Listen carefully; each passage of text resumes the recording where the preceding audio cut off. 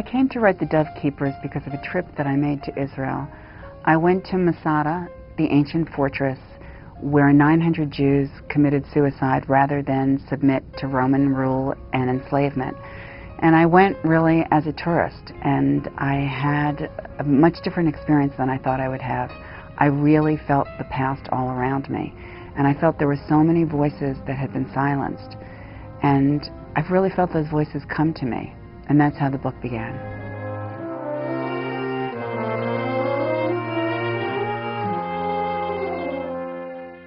I researched the book in many ways over a period of about five years.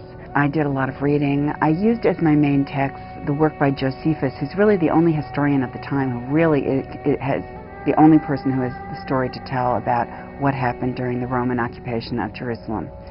When I first began to read um, Josephus's work, I was very surprised because the account of Masada was not the account that I had always heard. And I had no idea that there had been survivors. And in Josephus's account, he says that two women and five children survived. And that really sparked my imagination. I wanted to tell the story of those survivors. I chose to write about Masada because the story came to me. I don't really feel that I chose to write the story.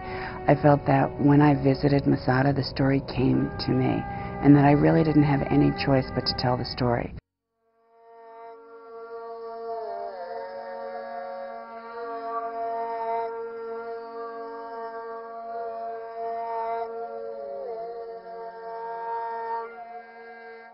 It was a story that hadn't been told before because there are so few women in ancient history. There's Cleopatra, but for common women, there are very few women. And in fact, there are only 188 women mentioned by name in the Bible.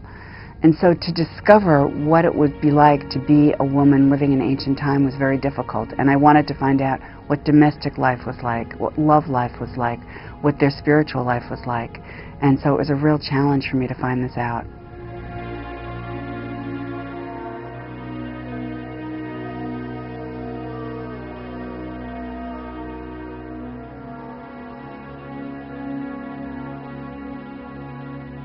I think one of the things that really interested me was that I felt that the passions of the four women who tell the story are the same as the passions of women today all over the world.